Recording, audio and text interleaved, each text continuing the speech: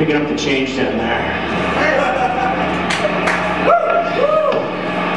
We'll play something for you guys to dance to.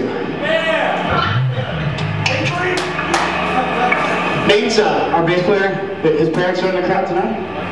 We have Larry the Shoemakers. No, they're, they're actually from uh, Ohio. I'm from Ohio too.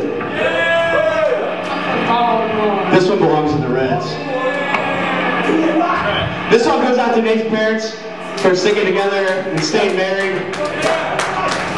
He's the only one out of the out of the four of us that grew up in a home that stayed together. And that's what this song's about. It's called Broken Dreams, Broken Bones.